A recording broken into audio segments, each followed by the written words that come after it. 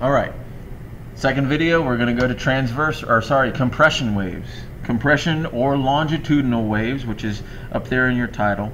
Uh, the difference between a compression wave and a transverse wave is that as opposed to a transverse wave, the particles are going to move parallel to the direction of uh, the, the direction that the wave moves. Particles move parallel to the direction that the wave moves. And they're called compression waves because you get these areas of compression, right? So again, in this particular video or this picture, I'm not sure if I have an animation with this one or not, uh, the wave will move from left to right and the particles move parallel to that direction. So instead of going perpendicularly up and down, they move left and right, left and right. It's still true, however, that this wave, just like the, the transverse wave, it's still true that it does not carry matter. And a really good example of a longitudinal wave is a big long spring or a slinky.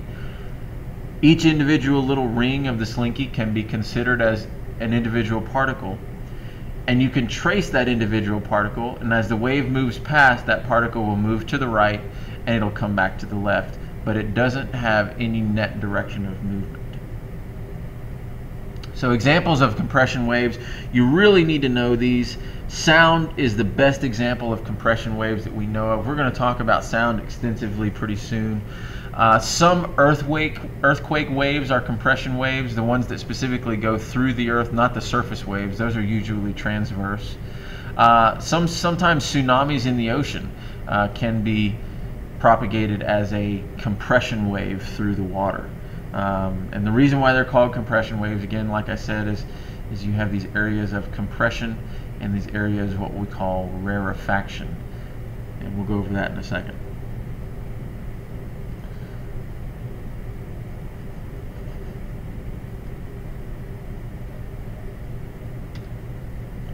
So here's a video of a longitudinal wave, an animation. As you can see, the wave is very easy to tell that it moves from left to right. It starts with the red bar, and we can trace the, the wave as it goes to the right across our screen. But if you look at each individual particle, you'll notice, for instance, we'll pick out this one. Notice it goes right and then comes back to rest to the left. Right and then left and comes to rest. Right and then left and comes to rest. So the individual particles do not move. We don't transfer matter just like in uh, transverse wave. So here's an example of a repetitive compression wave or longitudinal wave. Um, oscillations in the same direction of wave movement. The wave energy will move from left to right, for instance. And if that's the case, then the particles also oscillate left to right. It's parallel, not perpendicular. All right, so you can watch that with each one of these particles again right, left, right, left, right, left, etc., etc.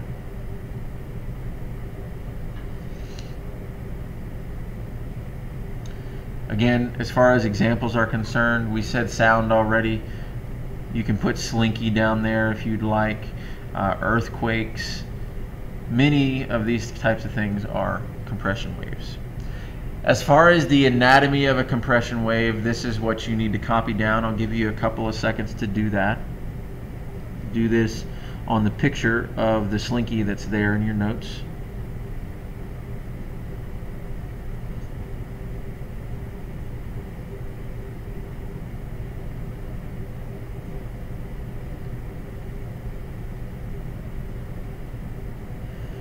Really only three basic terms that we need to know.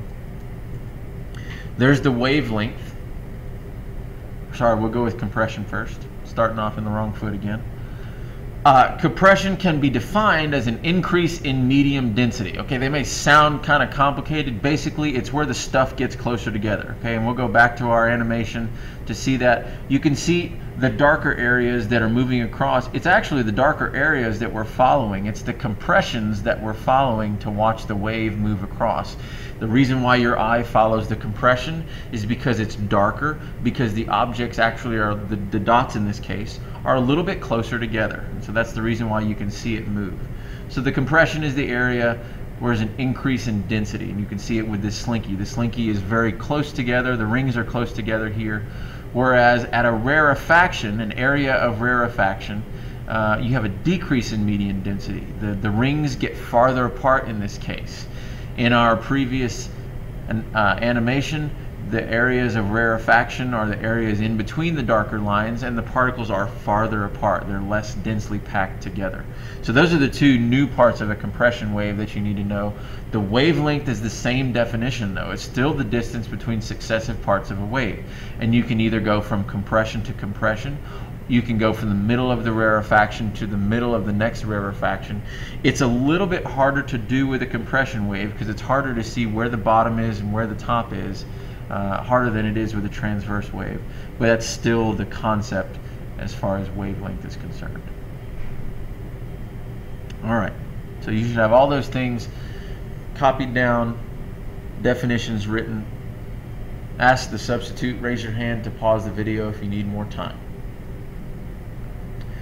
Okay, let's move forward and go ahead and look at frequency. There's things about a wave that we need to be able to calculate. All right, so we can calculate the wave frequency and the period of a wave.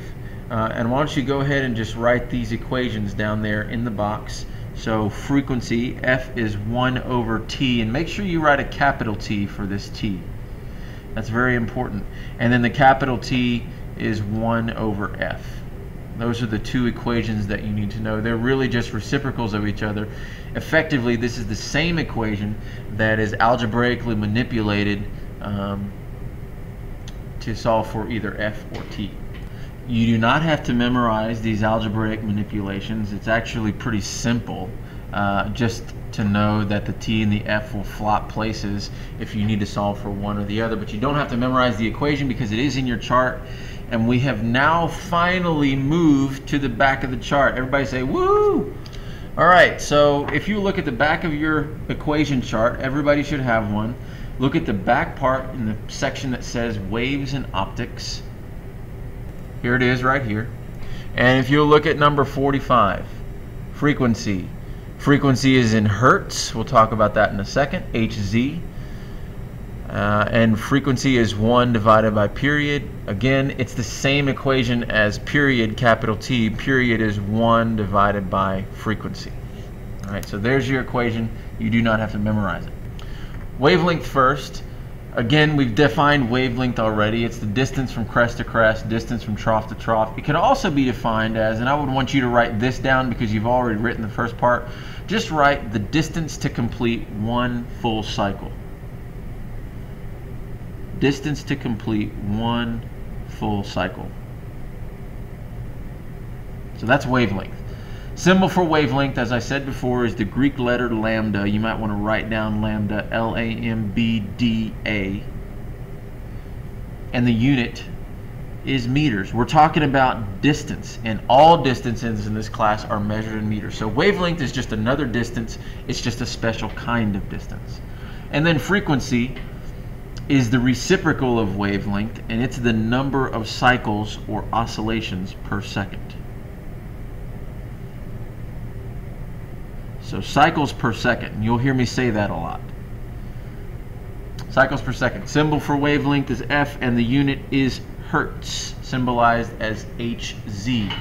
And that says 1 divided by seconds. In other words, hertz is how many cycles per second. I'm sorry, I told you wrong. I said that frequency is the reciprocal of wavelength. That is not true. I was thinking about the next one, which is the period. Frequency is determined by the period because period and frequency are reciprocals of each other. That's what uh, is depicted here in this equation.